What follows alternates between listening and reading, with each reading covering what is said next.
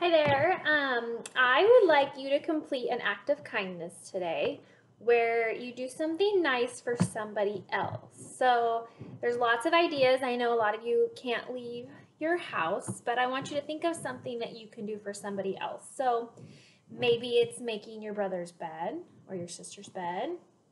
Maybe it's setting the table for dinner or doing dishes maybe um, your parents are working from home and you make them lunch and bring it to them. Um, what I'm going to do is I love to make cookies. Um, I made some just now. I haven't baked them yet. And I'm going to actually drop them off at my parents' house. So in my journal, I would write, my act of kindness is making cookies for my parents. I will drop it off at their house. And then I would draw a picture of me um, dropping off the cookies at my parents' house.